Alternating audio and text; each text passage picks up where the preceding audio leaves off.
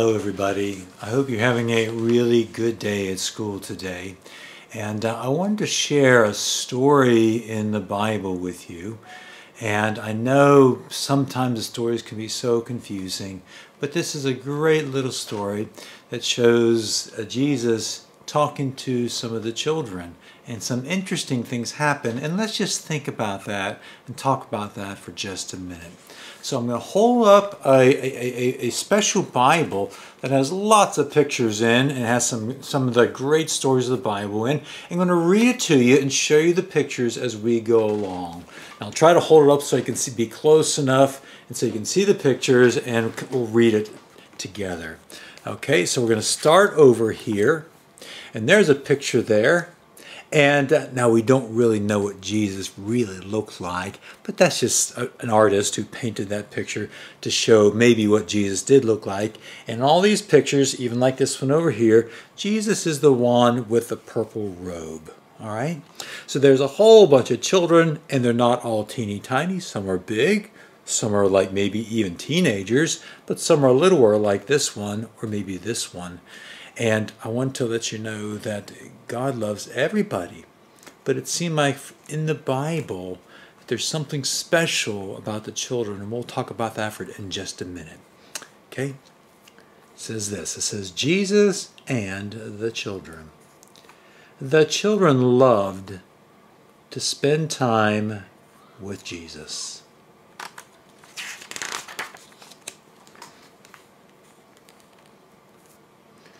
But the disciples, now the disciples were Jesus' helpers, and they were supposed to listen to Jesus and do what Jesus wanted and to obey what he said, but they didn't always do what they were supposed to do. We're going to find out now.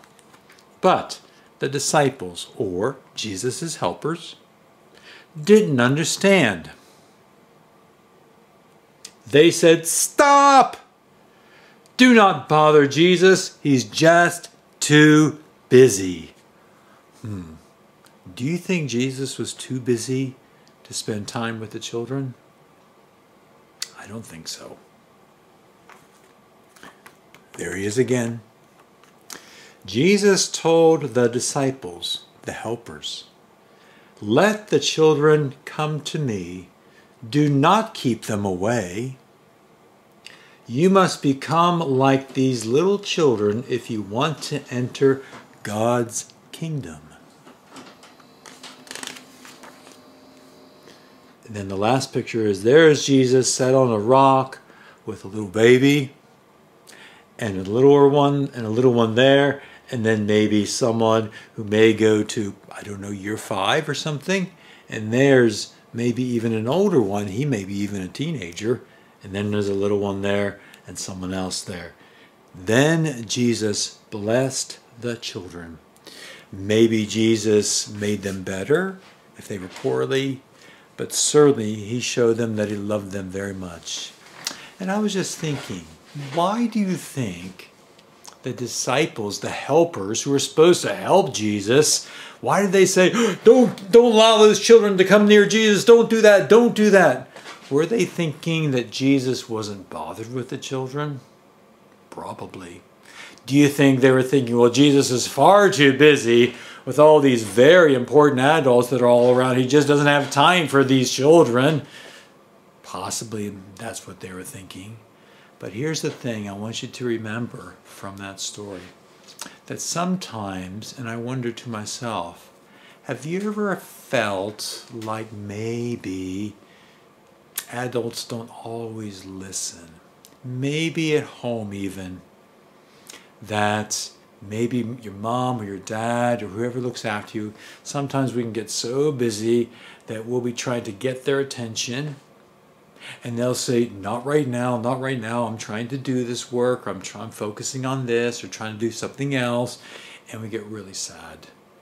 Try to be patient. Being a mom or a dad is a lot of hard work. And I'm not trying to say that that um, that we always do the best thing, but mums and dads do our very best. But sometimes we can feel like um, adults don't always listen to us like we want them to. but I know your teachers and your your parents, whoever looks after you, really does the best they can. But then Jesus said, Don't tell them to stop coming to me, let them come to me.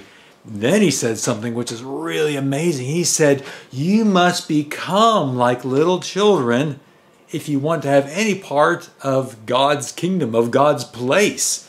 And I'm thinking, What? How can I become like a little child? Does that mean I need to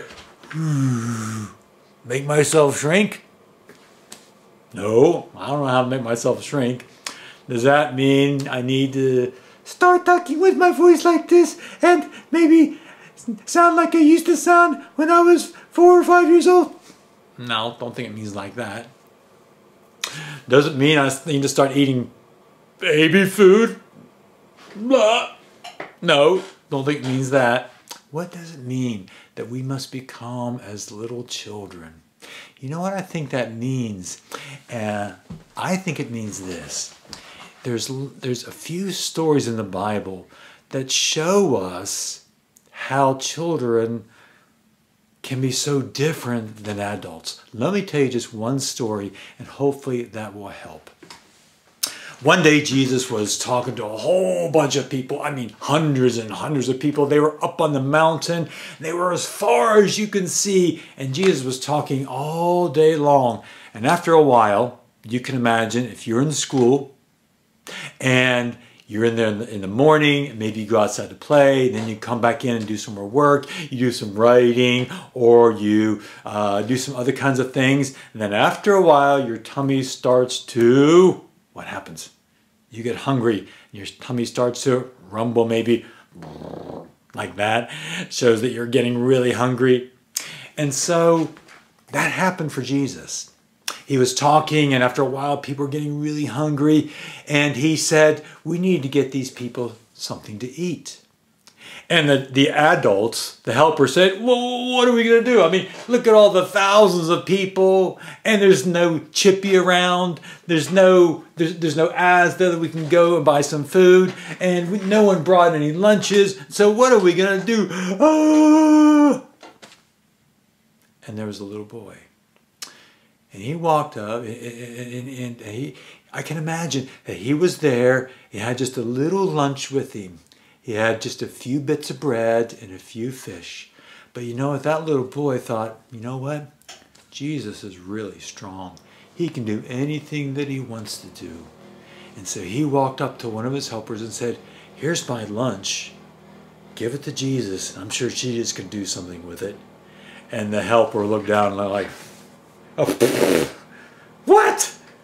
That little bit, that is nothing. How are we going to feed all these people with just that little bit of food? Well, even they get a little crumb and they can even smell the fish, that's not going to make them feel better from their tummy rumbling. And there's just no way. But if that's what you want me to do, okay. So Jesus, so the helper, the adult helper, took the little lunch from the little boy and he brought it up to Jesus and then Jesus took that little boy's lunch and he thanked God for it. And then the Bible says that he started breaking the bread and again and again and again. And everybody got fed because Jesus was able to take that little boy's lunch because he had great faith. He had he, he loved Jesus. He trusted Jesus so much that he didn't know how Jesus could do it, but he knew Jesus would be able to take just a little bit of something and make it a lot of something for everybody.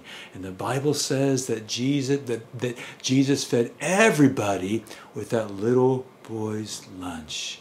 And when Jesus said, You must become like these little children, enter into God's kingdom, I think it was something like that. That Jesus was saying, You adults, you think you know everything, but you know what? These little children, they have a lot of faith and they trust me. You need to learn something from them. I think that's what Jesus was meaning in this story. So before we go, I have a little song that I want to do for you. It's a simple little song, and it's called Jesus Loves the Little Children. We've done it sometimes in assembly, and I know you weren't, you've, we've not had assembly for a long time uh, for me to be in school, but this is a song that we've done. Uh, I've got my guitar, and so I'm going to do the song, and I hope it'll help you to see a little bit how that how much that Jesus loves the children especially. So here we go. It goes like this. Jesus loves the little children, all the children of the world. Red and yellow, black and white, they are precious in His sight. Jesus loves the little children of the world.